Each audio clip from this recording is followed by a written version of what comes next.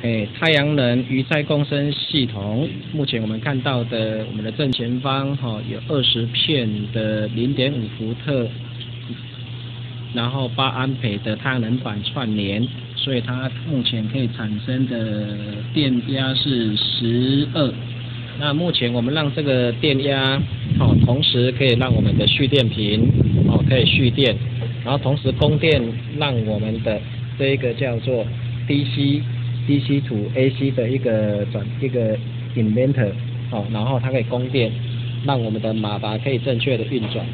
那现在可以看到我们下层的这一个是我们的消化池跟过滤池。那我们的马达的水透过这边打到上面这一层。那目前我们可以看到上面的这一层哦，这就是我们的呃另外一个过滤盒哦，过滤盒。那过滤盒的下面这一层，好蓝色的这个箱子，它是我们的另外一个叫做进水盒，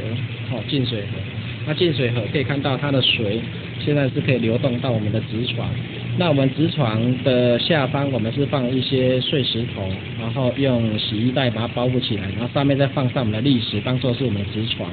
那直床这个地方有两个溢流孔。哦，所以我们的水位到这溢流孔之后，它就会流到我们的下方，下方的这个是鱼池，